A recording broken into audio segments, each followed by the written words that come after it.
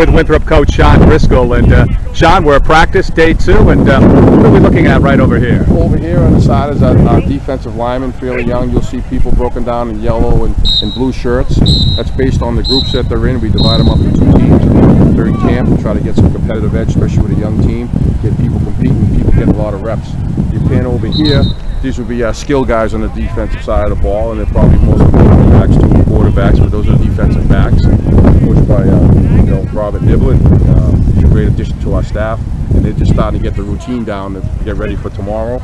And over here, we have uh, linebackers, uh, which in the past have been exceptional at Winthrop High School, and they're all new this year. And it's going to be a challenge, but they're over there working. We're taking baby steps. We're, we're really going back and and every team is different, and this is a lot different team because of the, how young they are.